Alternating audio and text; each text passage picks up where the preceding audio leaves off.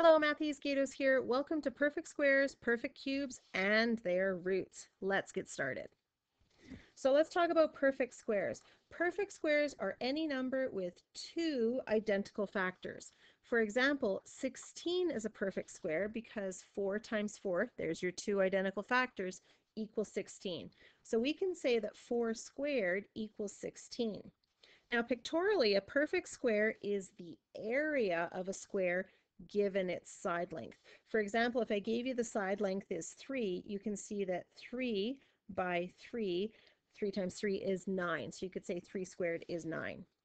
Let's talk about how we can find the perfect squares. So tips to finding perfect squares, aside from using your calculator, is the numbers on a diagonal of a times table.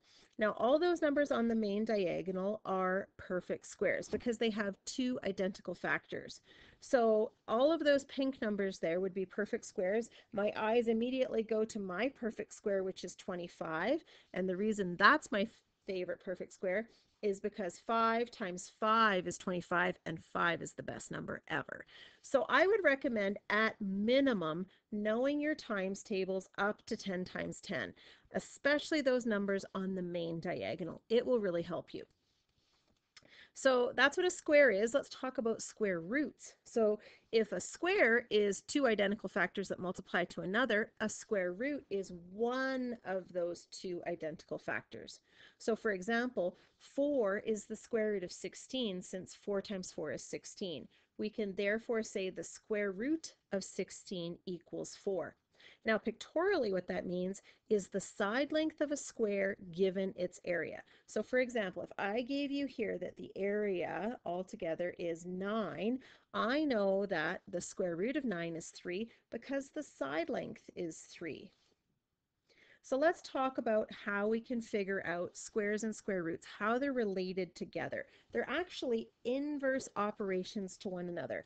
So let's start with this fact that we know and we can agree to be true. 4 times 4 is 16.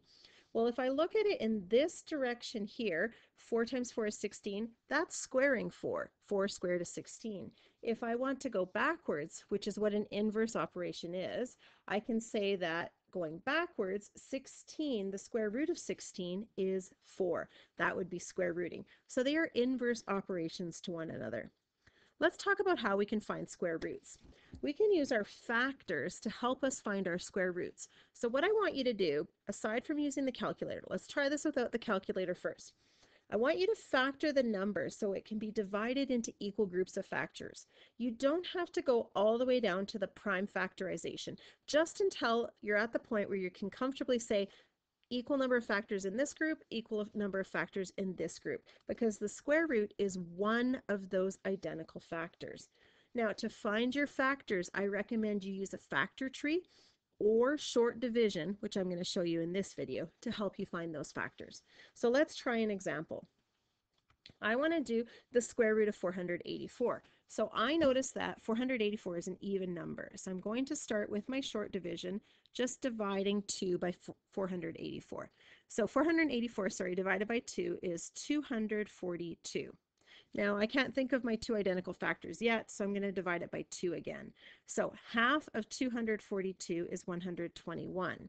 Now I'm at a point where I know what my factors are. So 121 is the same as 11 times 11.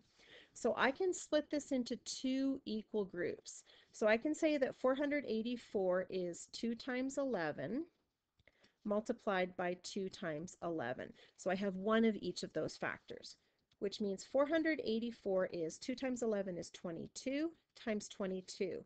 So now that I know the two equal factors, I can say that the square root of 484 is one of those two identical factors, 22. Well, how would this look in a word problem? For example, what is the side length of a square with an area of 144 meters squared? So my tip to you is if area of a square is side length squared, because it's a square and they're the same, then I can say that side length is equal to the square root of the area. So that means that my side length will equal to the square root of 144 meters squared. Now, some of you might already know what those two identical factors are, but if you don't, that's okay. Let's just do some short division on the side to break it down to a point where we can all see for sure what those two identical groups are. So I took half of 144 is 72, half of 72 is 36, and now I can comfortably say 6 times 6 is 36. So I know that 144 splitting it into two equal groups is 2 times 6 and 2 times 6. So 144 is 2 times 6 is 12, times 2 times 6 is 12. Therefore, I know, there's my two identical factors, I know that the square root of 144 is equal to 12. So my side length, square root of 144, is 12, and let's put some units on there, meters. Okay, that's squares and square roots. Let's look at cubes. So a perfect cube is a number with three identical factors.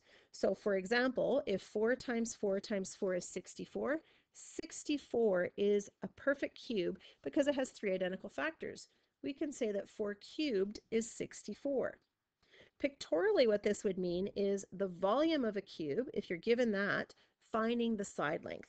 So for example, if we look at here, you can see that the length of 3 times the width of 3 times the height of 3 is 27. So the volume is 27 because 3 cubed is 27.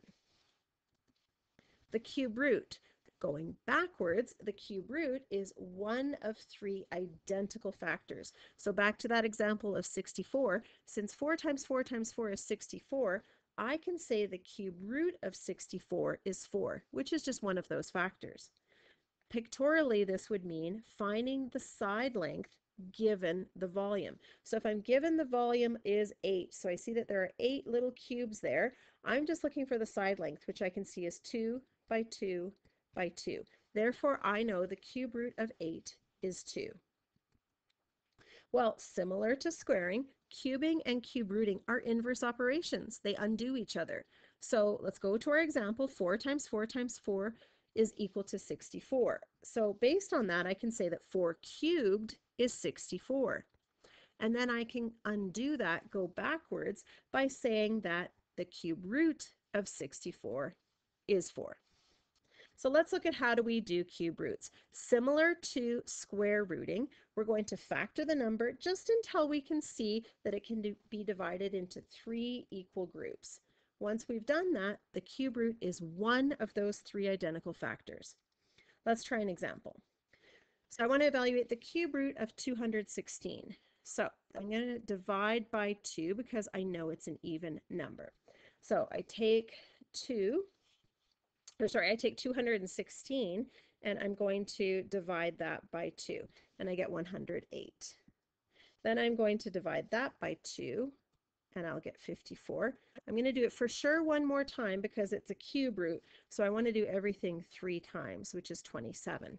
Ah, now I'm at a point where I can recognize that 27 is 3 times 3 times 3. So 216 split into three equal groups. I'm going to need a 2 and a 3 in each of those groups. 2 times 3 and 2 times 3. So that means 216 is equal to 2 times 3 is 6, times 6 times 6. So the cube root of 216 is one of those identical factors, which would just be 6. Okay, let's look in terms of a word problem. So in this word problem here, I want to find the side length of a cube that has a volume of 512 centimeters cubed.